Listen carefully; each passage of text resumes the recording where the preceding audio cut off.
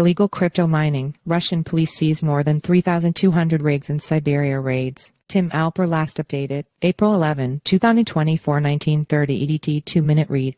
Russian police have seized over 3,200 crypto mining rigs and raids on four large illegal data centers in Siberia. For the Novosibirsk branch of the Russian power provider Rosseti via RBC Crypto, police officers have charged the mining center operators with criminal charges. Illegal crypto mining network shut down in Novosibirsk. Rosseti said that centers were operating as part of an interconnected network. The firm said miners ran centers located in different parts of the city of Novosibirsk. The power firm said it estimated the miners stole a combined total of $2.1 million worth of electricity from the Novosibirsk grid. Police officers conducted searches and confiscated nine power transformers and three 225 cryptocurrency mining devices. Novosibirsk is the largest city in Siberia. Along with Irkutsk, almost 2,000 kilometers to the east, it has become a major hub for Russia's fast-growing crypto mining industry. However, power providers have complained of a rapid rise in illegal crypto mining. By this, they mean crypto miners who use illegal connections to the power network to steal electricity.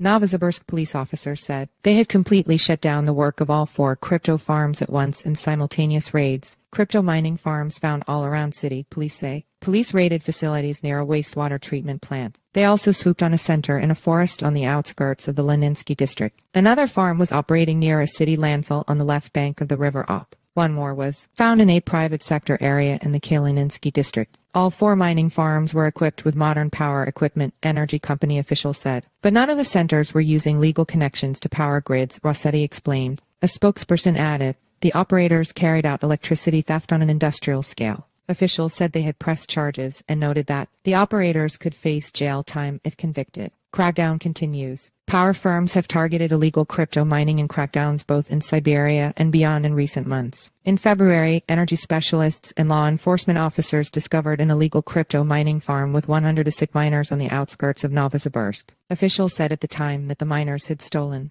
several million rubles worth of power from the grid. Irkutsk Oblast officials shut down a 217 rig mining farm in late March with a 35 year old man charged with stealing $11,000 worth of power. In 2023, meanwhile, Rosseti and local police shut down 17 illegal mining farms in the cities of Krasnoyarsk, Omsk, and Khakassia. Further raids were carried out in the Krasnoyarsk territory and Khakassia, as well as the Omsk Oblast. Rosseti previously announced it had closed down 36 illegal crypto mining farms in the Republic of Dagestan since 2022. The fate of the industrial mining industry is yet to be determined in Moscow, where miners claim that they want to pay tax on their income. Major firms say they will help the government launch national IT projects by letting them use their new state-of-the-art data centers. Politicians have suggested that they will launch legislation before the end of the current parliamentary session, although some have suggested an unnamed government agency is holding up the process. Follow us on Google News.